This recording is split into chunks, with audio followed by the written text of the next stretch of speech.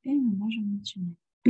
Итак, я продолжаю говорить про Easy Stories. Уберу все ненужные элементы отсюда.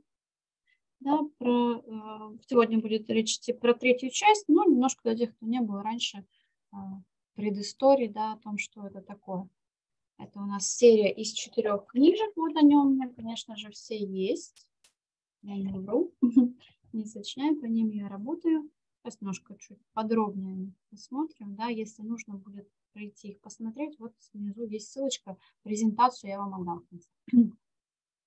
Итак, это у нас четыре книжки, как я сказала, каждая из которых у нас включает в себя 10 коротких рассказов, написанных в определенном грамматическом времени. Но я бы сказала, что они там как бы пересекаются, потому что уже начинается э, прошедшее, оно потом идет, идет дальше, и все, все увеличится, увеличивается. Дальше. А, после каждого рассказа у нас есть упражнения для отработки лексики и грамматики, естественно. А очень хорошая иллюстрация. Вот сейчас еще пока э, дала, чтобы войти в конференцию, еще раз посмотрела. Мне очень нравятся эти картинки. Просто они такие милые, такие, такие прямо из детства. Да, и мы их можем использовать, конечно, как опору для говорения. А также это система заданий для проверки понимания прочитанного. Это все входит сюда. И у нас есть э, опоры для выделения главной информации рассказа его пересказа. То есть те слова, э, которые даются после каждого рассказа, они могут послужить опорой. Действительно, если мы на них просто взглянем, сейчас увидим, то можно составить пересказ, пользуясь только этими словами. Мы с ними работаем, потом уже совсем легко становится. Конечно же, все рассказы носят у нас воспитательный характер, развивающий характер, учат доброте. Вот прям они как-то, вот именно этой добротой как-то пропитаны. Ощущение, что когда сам читаешь, тебе тоже хочется так делать, хочется кому-то помогать, да, быть щедрым, сопереживать. Ну и, конечно, мы можем их использовать а, как самостоятельно. То есть если мы занимаемся, например, с детьми дополнительно, можно использовать их как самостоятельную книжку, потому что там есть грамматика, там есть текст, там есть все а только просто будем с другой стороны к этому подходить, либо как дополнение к учебнику, потому что всегда нам нужны какие-то уроки а, дополнительные по чтению, что-то нам нужно, да, или, может быть, какая-то внеурочная детство, да, дополнительный урок дают. Да, очень они а, хорошо подходят. В принципе, а, если говорить в целом, книжка готова, да, но я просто хочу рассказать, что еще можно с ней сделать кроме того, что там уже есть. Хотя вы ее купили, там все есть. Можно даже ничего ни, ни к чему не готовиться, не мучиться. Идти, идти, идти, идти и делать задание. Ну, естественно, я расскажу, что мы еще можем с этим сделать. В каждой книжке есть а, грамматический справочник. Сейчас будут странички, оттуда я покажу. Да, Grammar Band. Дальше у нас там есть э, в конце англо-русский словарь в конце книжки. И есть еще после каждого, а, после каждого рассказа тоже есть э, коротенький. Это то, что я говорила, с разными словами, которые нам помогут и понять рассказ, и пересказать, и задание сделать, и, в общем-то, в принципе, потом эти слова пригодятся. Какие-то слова встречаются у нас в других учебниках, но есть слова, которые не встречаются. Они всегда ну, нам нужны, да, потому что мы вроде бы как идем по учебнику, откуда взять еще слова? ну, мы будем брать из книги для чтения. И будет так кругозор развиваться. Итак, вот это Grammar Bank есть. Там сначала идут таблицы неправильных глаголов. Это именно в третьей части. Первой такого нет. Еще не изучают прошедшее время. Потом вот такая небольшая табличка по временам. Ну, по, по simple, по простым. Ну и в конце вот есть vocabulary. Я вам сюда поместила, чтобы посмотреть, какие слова изучаются, если вам нужно, да. А, кстати, рекомендую всегда а, просматривать эти все слова, чтобы потом посмотреть, могут ли они поискать. Видите, вот такое задание. А, знают ли они какие-то, ну, нужно ли что-то еще им туда из этих слов, может быть, где-то заранее дать, чтобы мы понимали, когда мы не по, этому, не по этой книжке работаем, а, мы встретили это слово, да, и знали, что там потом попадется, можно обратить внимание, сказать, помните, у нас там-то было. Итак, для кого? Вот я э, говорю третий, четвертый класс, но опять же надо смотреть. они достаточно простые истории, но в то же время немножко сложны, потому что, как я говорила, первую часть, например, вроде бы ее надо с маленькими, но у меня сейчас четвертый класс первую часть изучать, потому что они слабые были. Поэтому будем смотреть. В то же время, например, про четвертую буду говорить. Девочка у меня в шестом классе ее читает. Но есть четвертый класс, который читает. Поэтому тут я даже точно не подскажу. Но примерно раз троечка, да, то это третий, ну, лучше четвертый класс, потому что для третьего будет, наверное, сложновато. И плюс еще тут грамматика, поэтому надо смотреть по грамматике, какую изучать, какую нет. А в том, что я бы, например, не рискнула взять а, с теми, кто не изучал прошедшее время, рассказы в прошедшем. Как мы можем использовать? Здесь 10 э, рассказов, поэтому, конечно же, это один раз в месяц. Мы можем либо в конце юнита, но у меня так и приходится примерно 9 месяцев мы учимся, и вот это примерно а, в конце месяца, в конце юнита выпадается. Мы просто заканчиваем, а на следующем уроке у нас будет Easy Stories. Бывают незапланированные уроки в школе, сама работала, знаю, что это такое. Когда вместо кого-то поставили, да, да еще и целый класс, и неизвестно с учебниками, не с учебниками, другая группа и так далее. Ну, можно взять, вот почитать такое, ну, там придется, конечно, копии сделать и так далее, что у них может не быть. Ну, или там у своей группы, например, есть, у той нет, рядышком есть. Можно как-то так придумать, да. А я бы еще при изучении грамматики, ну, брала дополнительно, то мы изучали, если прошедшее время, тут есть. И можно э, брать туда э, дополнительно просто взять, давайте мы еще на эту тему вот здесь сделаем задание. Прочитаем историю и с ней э, поработаем. Итак, переходим непосредственно к третьей части. Здесь у нас а, содержание, да, что в ней есть. Просто посмотреть интересное сами по себе название. И мы, конечно, сегодня будем рассматривать первую часть, потому что она и в свободном доступе, вы можете скачать, для, если хотите попробовать, что это такое, проводить уроки по этой книжке, моей презентации и с э, таким скачанным файликом, в котором есть первая часть, можно будет провести. Итак, а, вернусь немножечко назад. У нас тут a useful invention, первая часть, и мы играем Верудит не могла вспомнить, как называется эта игра. Если кто-нибудь мне подскажет, я буду очень признательна. Эрудит какой-то наборщик, да, говорят. И мы играем вот в этот эрудит наборщик с фразой a useful invention. То есть я им пишу на доске, можно дать на каких-то листочках распечатанное, пока не открывая книжку, не трогая ничего. Тем более это первое. Они уже забыли, что там было в, в прошлых частях. То есть я даже пока не вспоминаю про книжку, вот мы делаем. Вот у нас есть эта фраза, и, как вы знаете, из, этой, из букв этой фразы можно составить другие слова. Чтобы они там не составили, да, они все это составляют, какие-то слова говорят. Совершенно нам важно, два раза я написала, прошу прощения. Что-то другое хотела написать. Ну, у нас составили такие слова. Мы просто поиграли со словами. Какие получились такие слова? Ну, может, что-то подлиннее будет и так далее. Они будут пытаться называть, можно все это записывать. Возможно, составятся какие-то слова, которые там попадутся, да, потом. Ну, всегда так, такое слово попадается. Нет, так нет, нам просто нужно было ну, в качестве такой фонд зарядки мы эти слова нашли, написали, проговорили, все, языки свои размеры. И пойдем дальше. А, слово invention я выношу отдельно, все, стираю остальное, оставляю invention. Спрашиваю, что это такое, да, кто-то, может быть, уже знает, что это изобретение, немножко об этом поговорим, там, этот корень слова и так далее. Потом я спрашиваю, какие изобретения они знают, они начинают называть там телефоны, э, велосипед, машину и так далее, все. И тогда я говорю, животные ведь тоже могут что-то изобретать. Например, кошки используют любой предмет в качестве игрушки. Да? Они говорят, да-да-да, у меня кошка с моими тапками играет и так далее. Да, и мы будем говорить о том, что могут изобрести животные, потому что книжка у нас все равно связана с животным. Ну, и тогда мы уже будем изучать слова. Например, я говорю, знаете ли вы, что это такое? И у нас появляется слово гнездо. Ведь животные же придумали, да, как его сделать, где э, своих птенцов выращивать. Да? У нас это у них изобретение такое.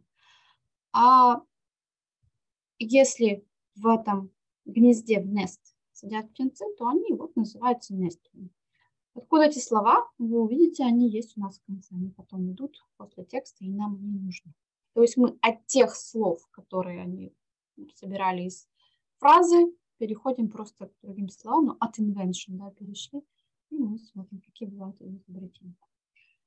Да, это множественное число nestlings. Дальше. Вот такая вот веточка у меня появляется. И слово twig, потому что там у нас есть это тоже слово. Я спрашиваю, а из чего они сплели это гнездышко? Из веточек. Вот у нас веточка. Все это я показываю, конечно, сейчас на экране, и презентацию вы возьмете, если есть возможность в классе, можно показывать. Если нет, просто картинки, да, а, любые, э, э, какие найдете, либо можно отсюда взять, распечатать хотя бы черно-белое, да, ну, вот, в принципе, все есть. Да? И а люди что делают из этой, из веточек? Мы же не делаем гнезда, мы делаем корзинки. Там тоже есть это слово баскет. Вот оно у нас появилось. А кто делает такие гнезда? Мы сказали, что делают птички, а при помощи чего они делают? Они делают это при помощи клюва. Да? Как они могут делать? Они же лапками не могут своими крылышками делать. Они делают клювом. У нас там есть слово клюв, биг. Это все идет к рассказу. У нас появился биг. И давайте подумаем, какие такие птички, каких мы знаем,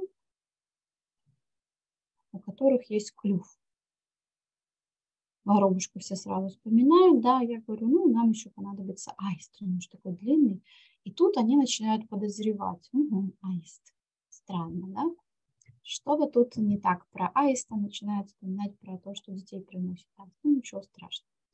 Вот я говорю, что у них тоже есть а, клюв, и мы узнаем, как, их, как они называются.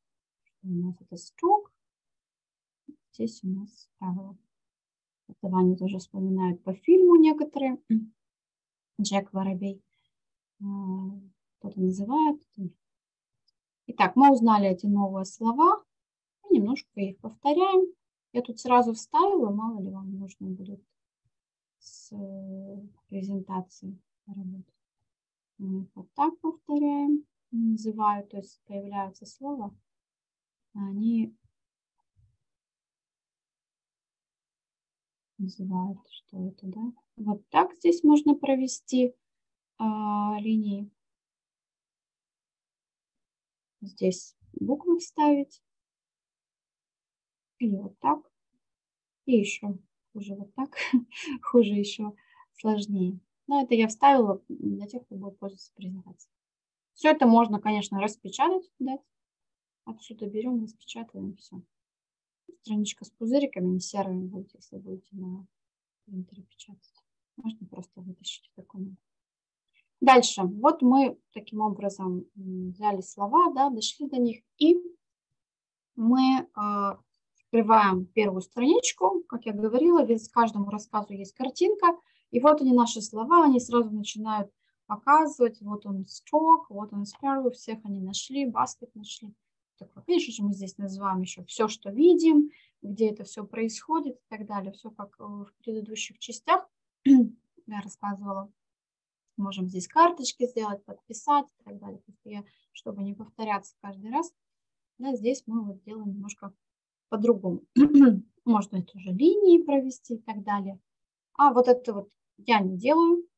Focus God Demonstrate, потому что ну, это мы еще будем, если долго так считать, кто сколько слов сказал, будет очень долго. Да, можно сделать немножко иначе. Сейчас нас лисичка переведет. Мы эти слова, которые изучали, можем тут разложить. Да? То есть мы их на, изучали, напишем и здесь разложим на картинке. И переходим к тексту. Вот с первой и второй частью я сначала брала слова, которые после. Я взяла, но не все. Я взяла только вот с этой странички, и там еще nesting попалось. Да?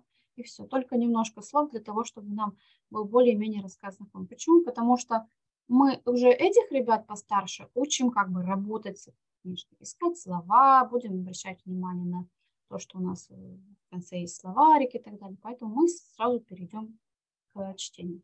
Первый раз а, читаем текст про себя. Я прошу прочитать про себя, пока вслух не надо и подчеркиваем новые слова. Вот те, что были с картинками, те, что мы изучали э, до этого, да, до того, как начали читать, их подчеркиваем. Да, я разрешаю им черкать, я, а, если они купили эту книжку, а книжки достаточно дешевые, забыла в этом самом начале сказать, просто это для меня была находка, эти книжки, потому что ну, за такую цену купить книгу почти не, просто было невозможно. Раньше я покупала по 3-4 по тысячи, и родители сходили с ума от того, что они такие дорогие. да, они поэтому могут подчеркивать карандашиком, ведь книжка это их, она как тетрадка, так как мы там будем потом писать. Поэтому они подчеркивают, что-то находят.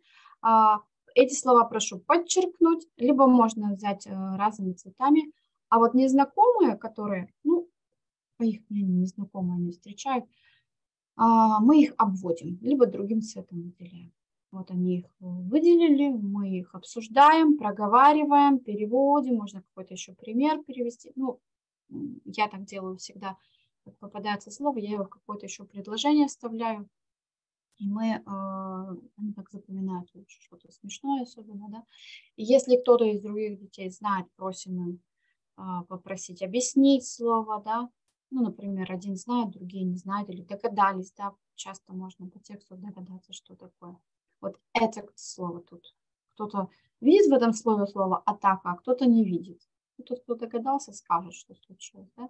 Ну и, конечно, говорим, давайте воспользуемся глоссарием, который у нас есть после. Загляни туда. Что вам мешает посмотреть? У нас же есть здесь слова.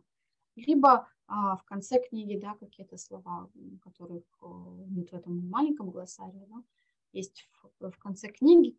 А, вчера я специально все просмотрела, встречаются все слова, которые есть, то есть, э, которые в этой книге есть, они все будут. Они могут быть. Единственное, что может быть форма другая, ну, это уже будет другой вопрос. Да?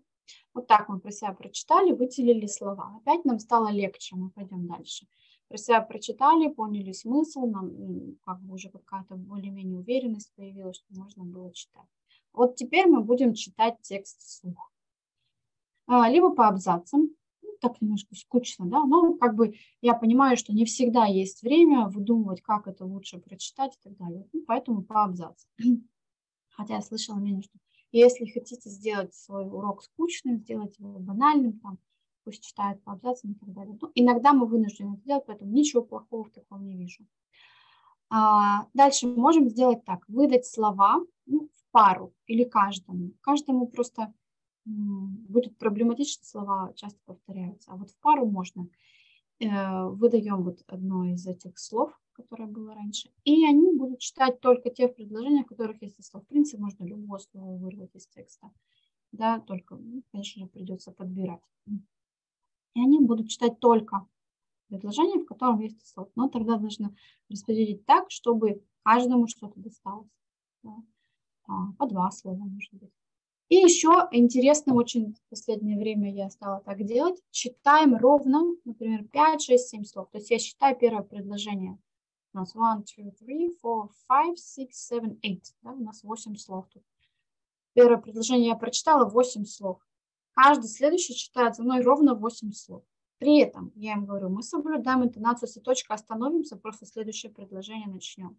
Да? А, если там какая-то будет где-то э, смена этой интонации и так далее. То есть не просто вот так вот прочитали эти восемь, и они сидят сначала отсчитывают, потом останавливаются, следующий продолжают. Да? Придется следить. Я ведь не говорю, кто следующий, но я говорю, давайте сейчас на каждые восемь поделим, чтобы было ну, понятно, где остановились. Потому что сосчитать они не могут. Ну, как вариант, можно говорить, где остановиться. Ну, просто тогда у них не получится с этой интонацией, они будут плавать. Поэтому а, лучше именно отсчитать. А можно посчитать, сколько всего слов, поделить на количество детей, и каждый будет читать до себя. Им так будет интересно. Мы это читаем первый раз, тут они могут еще с ошибками читать, поэтому ну, ничего страшного. Мы еще сто раз это все перечитаем. Главное, чтобы у них была какая-то смысл какой-то это читать, потому что когда, ну, как я сказала, просто по абзацам, ну, тоже ничего плохого там нет. Если каждый раз так читать, ну, становится скучновато, ну, скучно, значит, нет никакого смысла это дальше делать, как я уже говорила. Дальше мы работаем с текстом. Тут э, все те, что я говорила в первой и второй части, можем использовать. Ну, еще можно так я, я называю какую-то часть предложения, не считаю этого полностью. Например, если я возьму вот с какого, из четвертого, да, тут one day funny song, я, например, возьму а, фразу a sparrow nest, да, им нужно дочитать все остальное. Или могу любой кусочек из этого предложения взять, там, три-четыре слова, ну, какое-то словосочетание. И они а, зачитывают его полностью. То есть им нужно найти это словосочетание и соотнести его да, с каким-то предложением, это предложение зачитать. Вот мы еще раз прочитываем. А до этого мы уже слова потренировали, мы уже этот текст почитали там по ролям и так далее. Ну, по ролям, а по количеству слов. Э, по количеству слов. Ну, они уже более-менее могут все равно читать. Дальше я могу сказать предложение на русском. Они его зачитывают на английском, то есть я говорю перевод. Да, я еще пытаюсь соблюдать какое-то такое интервью. Так, начинаю издалека. Не, не слово в слово говорю, а, а как бы так, литературный более перевод. Они его зачитывают. Можно сделать и наоборот, но как бы это странно, просто перевод. Да, или я зачитываю предложение, меняя какую-то фразу. Ну, то есть я же знаю какие-то синонимы. Он там loved. Я скажу liked, например, да, изменю какое-то слово. Им нужно найти, кроме того, что нужно сказать это предложение, нужно еще и слово прочитать то, что верно. Или можно здесь оставить, оставьте мое слово, на какое я заменяю. ну, тут синонимы тоже я еще а, в четвертой части буду много про синонимы говорить, потому что там уже дети постарше и посильнее, и можно уже опираться на синонимы, антонимы, всю вот эту работу, которая у нас потом ведет экзамен. Дальше. Вот они наши слова, мы их будем разбирать. Теперь уже они нам встретились, да, мы уже теперь и знаем, мы уже их подчеркивали, как незнакомые на них обращали внимание, да, нам теперь уже гораздо легче. И мы просто можем их еще раз разобрать и найти предложение с этим словом. Опять мы еще раз прочитаем предложение. Все это к чему? Не, не только потому, что мы читаем. У нас в конце есть задание на пересказ. И чтобы нам его хорошо сделать, нам надо 25 раз это предложение повторить. А мы их повторяем как бы так ненавязчиво. Ну, просто потому, что мы сейчас такое задание делаем, сейчас такое делаем. Вот мы зачитываем эти предложения с текста с каждым словом, а потом можно поиграть в снежный ком. Ну, снежный ком все знают, обычно это просто слова. А мы будем играть в снежный ком с предложениями. Ну, то есть целыми фразами. Допустим, у нас вот здесь слово «этак». Да? Нужно взять кусочек из текста, что там было. A cat attacked baby sparrow. Да? Мы будем зачитывать словосочетание, ну, то есть фразу какую-то с этим словом. Первый говорит одну, второй другую и так далее. И вот с каждым словом. То есть каждый себе должен будет э, найти. Но когда первый раз играю в такую длинную, я им разрешаю ну, какие-то пометочки делать большие, может быть, э, подзаписать себе что-то, потому что, ну, не так просто это все, да? Потом уже, когда идем еще по кругу, еще раз. Ну, я учу своих детей записывать первую букву только. Я сама так делаю. Честно, когда я где-то учусь, у нас что-то бывает такое, что за кем-то повторять. А часто этот снежный ком используют и на курсах, и везде. А, я себе пишу первые буквы у слов. И им тоже так говорю, запишите первые буквы. Нам это потом пригодится, но как раз в конце, когда будем пересказывать, э, будем этим пользоваться. И они так лучше вспоминают. Хотя бы одна буква, хотя бы одна буква. Я когда-то, когда экзамен сдавала, мне нужно было так же сделать. Я не шпаргалки делала, а писала себе первые буквы или хотя бы одно слово у первого билета, который нужно было представить, и вот от этого отталкивала. Потому что ведь учить-то учил, но просто вот где-то нужно какой-то толчок. Поэтому так будет лучше. Дальше мы, конечно же, выполняем все задания со словами. Тут вставить мы уже подобное там делали. Или вставить буквы, да, здесь соединить. Но обязательно, обязательно я готовлю дополнительное задание. Сейчас я их покажу. На взнание можно найти, это есть Easy Stories, я поделилась этим. На WordWall тоже есть. А, там есть Easy Stories 1, и написано part one и так далее. И вот мне практически во всем частях. Но я еще дошла, а, первая книжка вся есть, а, четвертая вся есть, а вторую, третью я еще только наполовину прошла, вот полгода, мы еще их только взяли, меня те не брали. У меня началось с первой, нет, вру, не четвертая, третья. первая и третья, а, вторая и четвертая, у меня еще первый год, поэтому еще полгода, но они все есть, можно будет, можете поискать, все, что найдете, у меня все доступ есть. Если мало ли не найдете, я в конце э, электронный адрес свой даю, вы можете мне написать, может быть, я это, не досмотрела, не дооткрыла, я открою. Ну, то, конечно же, я приложила здесь все, а, приложила все, которые, может быть, это все оттуда. Да, вот они, эти задания. То есть мы можем вот такое дать. Почему? Потому что кто-то будет предыдущее долго делать. Сто процентов кто-то будет делать долго, хотя бы один-двое, но они там просидят, кто-то через пять минут спросит, что надо делать. Да? Знакомая ситуация, говорю. Вот, поэтому, а другим нужны же какие-то задания. Да? То есть я им даю вот эти дополнительные, а тем, кто м- тормозил, красивое слово, но это так, между нами, а я говорю, я вам домой там дома сделаю. Да? Те говорят, нам тоже что-то домой, поэтому надо иметь всегда в запасе. Это же самое, вот это знание, такое же точное задание, можно взять с не в другом порядке просто будет, и все. И будет, будет что дать. Что меня тут не все попали. это просто сами слова, да? мало надо э, соединять. И там еще такие карточки есть тоже можно их распечатать. Ну, ведь они такие нечеткие, лучше взять э, знания самостоятельно. Это просто поделено на две части. Здесь вот тоже тут поделено на две части. Ну, можно детали. Одну, одну половинку, другую, другую. Мне не влазили на один лист, иначе очень мелко было. Поэтому я так сделала, разделила. Здесь тоже подобно, тем более мы такое делали в начале немножко, да, поиграли ну, с первыми словами, тут уже можно а, с ними полностью. Ну, вот здесь уже совсем, это из раздела тест, поэтому здесь уже можно написать. Да? Торопышек-то всегда хватает. Вот эту часть можно, например, взять в следующий раз, потому что когда мы а, один рассказ прочитали, берем другой, то я говорю, давайте-ка вспомним слова из предыдущего, что у нас там было. Вот мы можем их снова повторить, а, дать такие задания, и они тут их напишут. Ну, сами слова, сами карточки. Можно вырезать, разрезать. Ну что ж, мы пойдем дальше.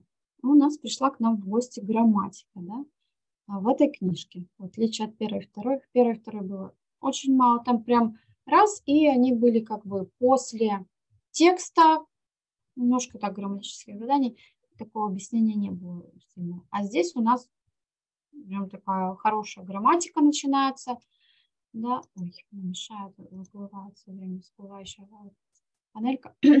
Здесь у нас past simple Мы, конечно же, вспоминаем это время, а, правильно-неправильные глаголы. Сейчас покажу, что мы делаем, как мы можем поиграть, да, немножко об этом поговорим чтобы они не, не, не пугались сразу, да, что это было, боже, сколько тут всего написано. Ну и таблицу неправильных глаголов обращаем внимание, что она есть, чтобы им было, да, не так страшно, что там можно посмотреть.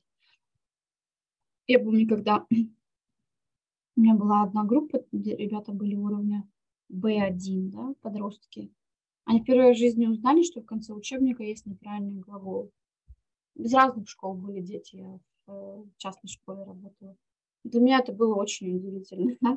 Нам мне это не говорил никто, мы не знали. В конце каждого учебника есть. Они говорят, правда, они нашли в своих учебниках. Надо понимать, что, конечно, они учат, они выучат, обязательно сто раз туда посмотрят и выучат, надоест это листать. Но запрещать пользоваться, конечно, нет. Наоборот, раз книжки есть, пусть пользуются. Умеете работать с книгой тоже надо. Там еще не так просто найти потому что там может быть в, в тексте вторая форма, они будут искать это вторая, первая, это другая.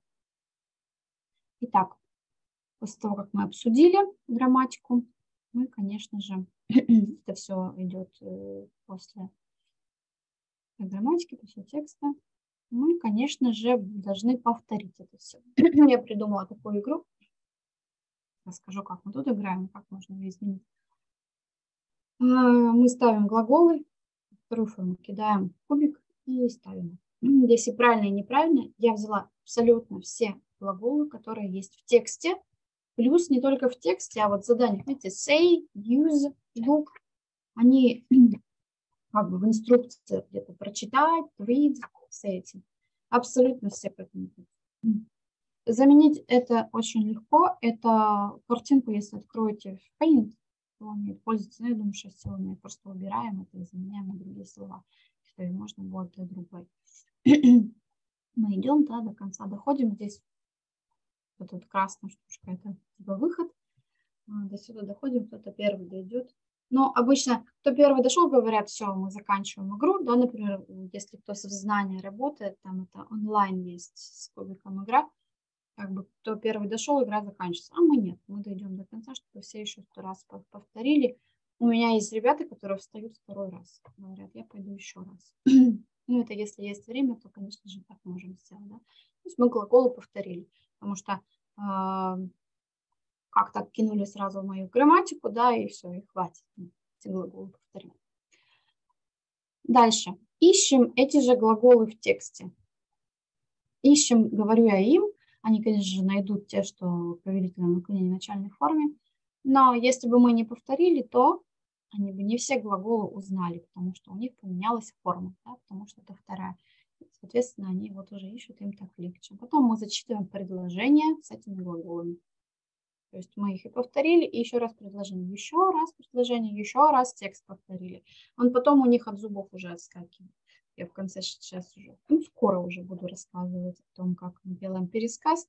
Но на самом деле уже ничего сложного нет, потому что и слова повторили, и с глаголами повторили. Он уже сам по себе идет. Да, дальше у нас есть еще а, такое задание – да, например, э, переписать предложение в прошедшем времени. Здесь достаточно легко. Вот смотрите, если времени мало, я прошу только глагол поставить, чтобы не переписывать. Если времени много, ну, все зависит от детей, вы сами понимаете, да, кто-то быстро делает, кто-то медленно. Если я вижу, что еще у нас ой, сколько времени, то мы будем писать полностью. Даже онлайн. Я их прошу здесь у меня написать. Если их у меня несколько, я делаю для каждого такое окошечко. А, если они в этом в книжках у себя пишут. Сначала в книжках, потом у меня тут по одному. Ну, если нет, то только глагол. Давайте только глагол. Можно только назвать дома, потом дать, а, сделать дополнительно, ну, дописать эти предложения. И я прошу найти еще два-три предложения в past simple в тексте. О, о, мы опять повторяем эти предложения. Мы опять этот текст э, еще раз употребляем. Да, нам уже будет совсем легко через некоторое время, когда мы дойдем до конца. Дальше у нас здесь есть true or false задание. Мы опять его выполняем. И я прошу составить свои дополнительные.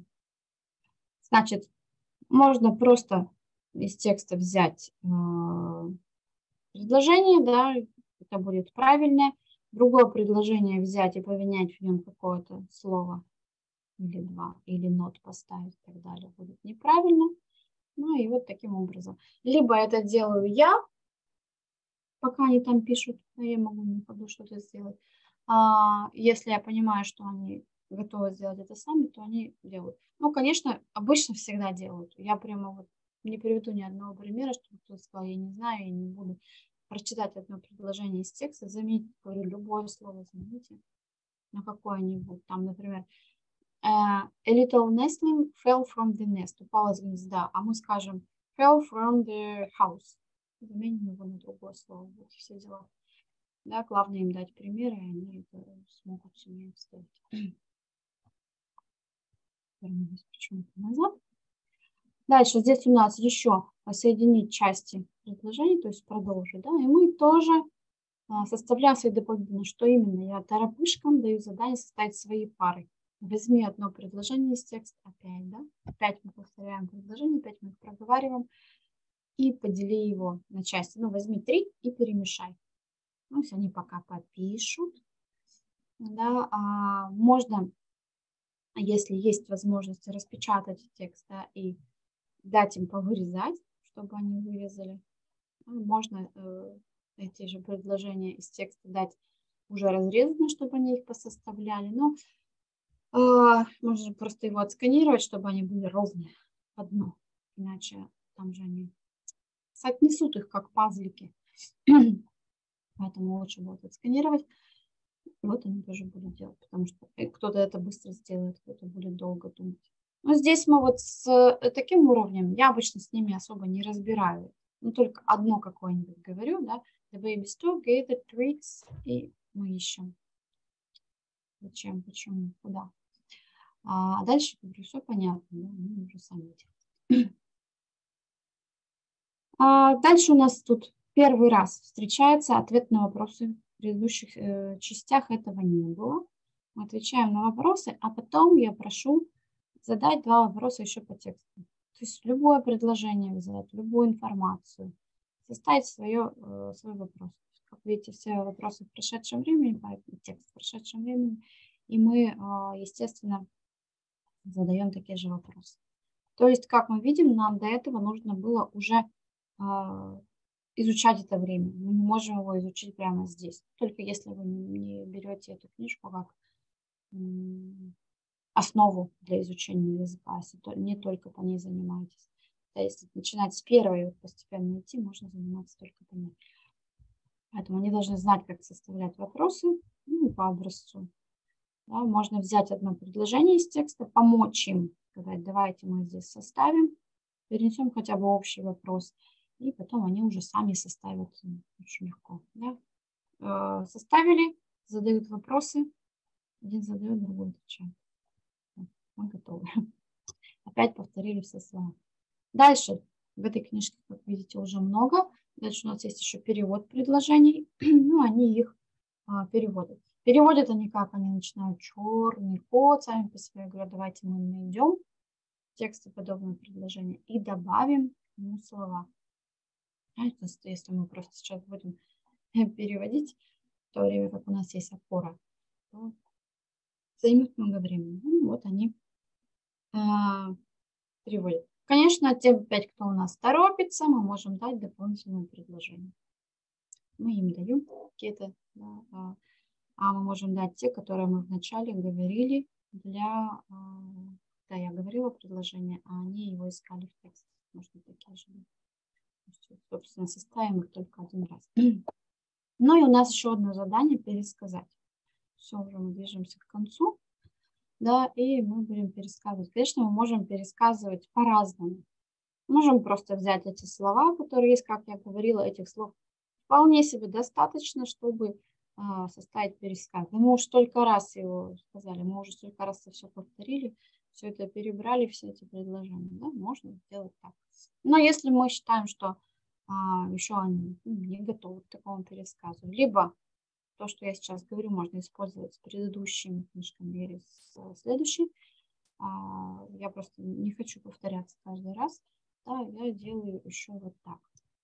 Допустим, я беру текст и убираю из него тут какие-то слова.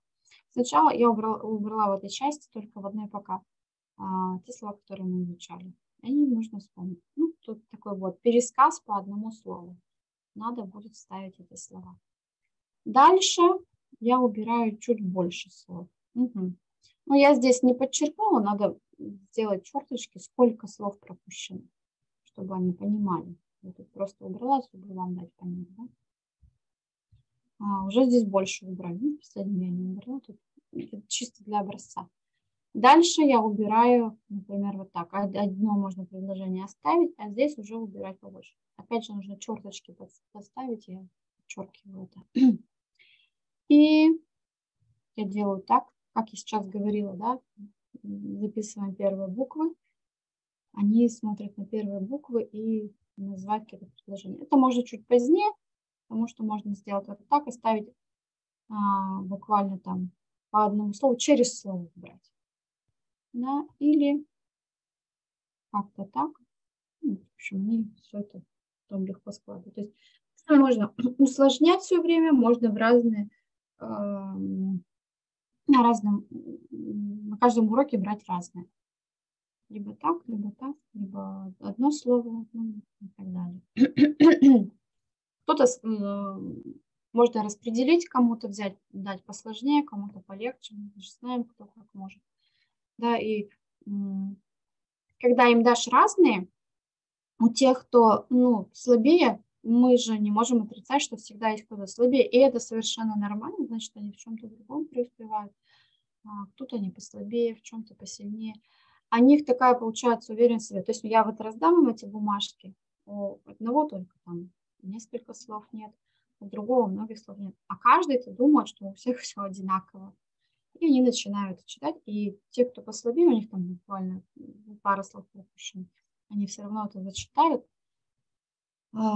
и чувствуют себя очень уверенно в себе. Они смогли. То есть это тоже, по сути, пересказ, только, ну, пересказ слов, да, не по всем, пересказ вот по такой опоре. В следующий раз уже им можно посложнее, сложнее, сложнее. К концу книги они будут пересказывать, да, потому что они сами поймут, что все, что мы делаем, все задания, которые мы делаем, они им нужны. И они их сделают, и в конце смогут пересказать. А ну, будет в конце листочка? Я говорю, я не знаю, может быть будет, может быть нет, посмотрим. Я еще не решила, да мы же и так все знаем, да. И они как-то все равно им приходится запоминать. Но на самом деле, а, вот э, из истории третьей части четвертой, они уже могут просто по словам. А, этот возраст уже третий, четвертый они рассказ уже рассказик могут. Всю нет. Я никогда не прошу рассказать всю. Поэтому мы всегда делимся. Вот в первой части я говорила, мы там по фишкам идем, во второй части мы по клеточкам ходим. А что-то они все равно могут друг за другом. Что еще добавить, да, там по цепочке. Но пересказывать всю, даже я не перескажу, если мне сейчас скажут пересказать, хотя этот текст читала уже раз восемь, наверное. Поэтому тут надо осторожным быть, чтобы не навредить. Ну и в конце, несмотря на то, что тут этого в книжке нет, я всегда прошу нарисовать рисунок, что вам понравилось больше всего. И вот мне понравилась такая, ну так как я еще арт-терапевт, да, я всегда занимаюсь тем, что мы что-то прорисовываем, рисуем. Ну, небольшую часть урока, буквально 5 минут я уделяю тому, чтобы мы поработали с как, терапевтическая какая-то у нас группа была, мы что-то рисуем или лепим, или сочиняем и так далее. Какая-то все равно была, чтобы дети. Я нашла, как нарисовать аиста. Ну, можно попробовать рисовать, если очень хочется. Можно им дать такие картинки, попробуйте нарисовать, потом сравнить. Ну, и могут, конечно, кого-то другого в интернете найти, и воробушка, и всех, как, как нарисовать, они там тысячу притащат. Но я им такую возможность всегда даю. Опять же, тем, кто быстро что-то сделал, да, домашнее задание сделать, домашнее задание нарисовать, что вам больше всего понравилось. Ну, конечно, надо получить слова, говорю я, не так, что говорю выучить слова. Получить слова, которые у нас были, называть их, ну, нарисовать. Ну, вот я могу вам такую картинку дать, чтобы нарисовать. Потому что это тоже для них очень важно, как бы как итог какой-то. Вы сами знаете, что если мы где-то учимся, где-то занимаемся, и в конце нам дают эту возможность подытожить все, чему я там научился, мы так себя лучше чувствуем. Это, правда, немножко скажу, ой, не знаю, что сказать, да. А здесь не знаю, кого мне выбрать, ну вот мы за них выбрали аист. Можно аист Ну что ж, а, еще раз напомню про все четыре книжки. Да, я думаю, что в ссылочку в чат, наверное, отправить. Ну, в начале презентации есть, я вам сейчас презентацию эту дам. Вот она здесь тоже есть. Хочу, воспользоваться случаем, пригласить на замечательный вебинар с носителем. Ну, наверное, вы уже видели анонс. Обязательно будет очень интересно. Это мой хороший друг, да, который имеет большой опыт работы, поэтому приглашаю, приходите. И с вами мы увидимся. Для тех, кто еще желает дальше послушать э, про самую сложную, я имею в виду детей сложную часть, четвертую, 14 марта, 6 часов будет заключительная. Ну, я потом обязательно веду еще другие вебинары по другим учебникам, по другим своим наработкам. Сейчас я посмотрю, что-то какие-то, может быть, вопросы есть. Если есть, пишите. Ну и если мало ли возникнут после, можно написать мне на почту. На сегодня все. Сейчас я посмотрю вопросы и отправлю вам ссылочку минуточку. Я отправлю ссылку на всю папку, там есть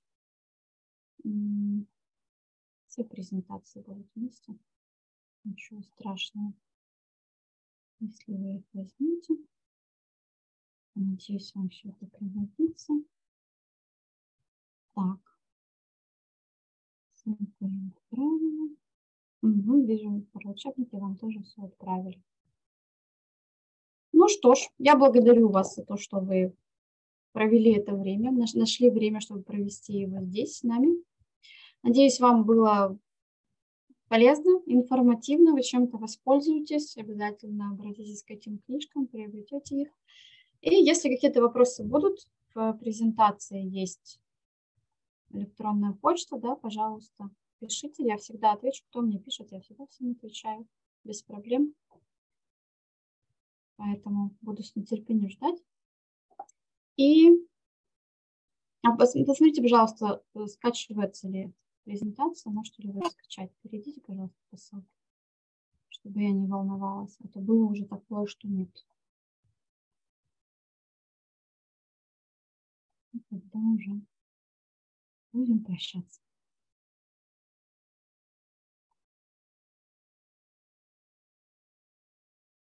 Надеюсь, что да. Да, все, тогда.